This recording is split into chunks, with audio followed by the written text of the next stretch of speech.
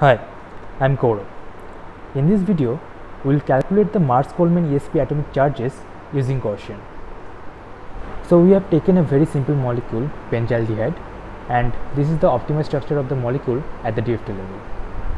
Now, to calculate the charges, we have to go to the calculation setup, then change the job type to energy, and this is the DFT method and this is the basis set we have taken.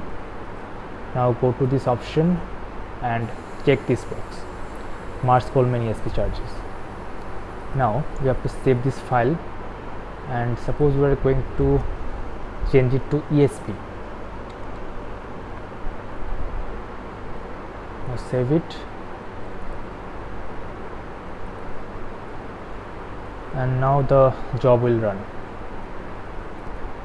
after the job is finished we have to open the log file then go to results charge then change it to ESP and show numbers. So we can see the uh, different ESP charges of different atoms here.